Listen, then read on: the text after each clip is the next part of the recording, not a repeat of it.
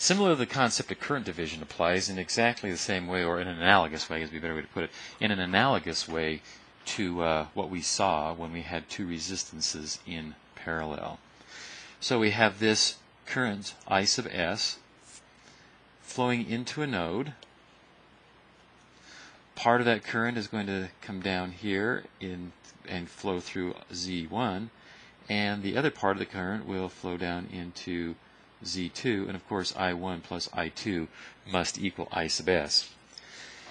So we have I1 is equal to I sub s times, so we're talking about the current coming down here, and just as it was in the when we were when we had resistances in series, this current here was proportional to this impedance now. So the larger this impedance, the greater the current flowing down here. You can think of it as the more restricted this path is for current to flow, the more current you'll have over here. So I1 is proportional to Z2, and it is then I1 equals I sub s times Z2 over Z1 plus Z2. And similarly, I2, the current flowing through here is going to be proportional to Z1, or times I sub s times z1 over z1 plus z2. And again, it's a pretty simple exercise to show that I1 plus I2 must equal I sub s. That comes just from Kirchhoff's current law.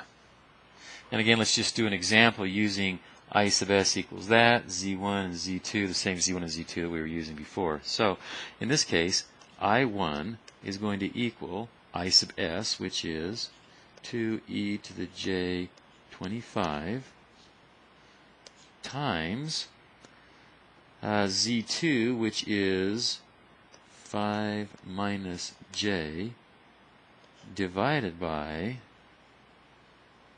um, the sum z1 plus z2, which is 3 plus j2 plus 5 minus j. And when you do the calculations on that, you get then that I1 is equal to 1.26 e to the j 6.57 degrees. That's I1. And we can do I2 right here. I2 then is equal to I sub s 2 e to the j 25 times z1, which is 3 plus j2 over z1 plus z2, or 3 plus j2 plus 5 minus j.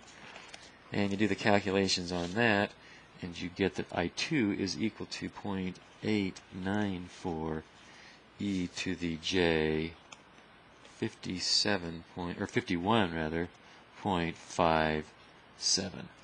And again, I'll leave it to you to show that I1 plus I2 is equal to I sub s, which was 2e to the j 25.